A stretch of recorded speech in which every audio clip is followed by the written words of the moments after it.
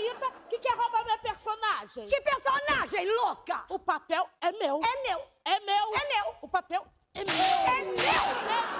É meu! É meu! A novela é minha. Ah, você não tem currículo!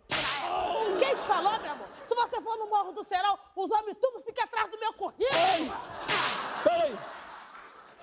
Um momentinho, você não pode decidir quem é quem que vai fazer o personagem, essa porra dessa fazer. Não pode ser chicote técnico! Eu vou fazer o! Au! Eu que sou Isaura. Que isso? Que isso? Que isso? Como é que você põe meu marido no tronco? Ô, Terezinha, aliás, olha só. Você não pode fazer isso comigo, tá? Você não pode acabar com o meu sonho de contracenar com a Lucélia Santos. Comadre, a personagem é minha e o papel é meu. Terezinha, a Lucélia vai dar muito mais resultado, cara. Eu, como produtora de elenco, posso te dizer isso. Checa!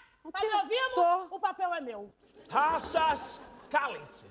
O papel é de Lucélia Santos. Ela vai ser a minha protagonista. Maravilhosa. Graças a Deus. Tá? É isso mesmo.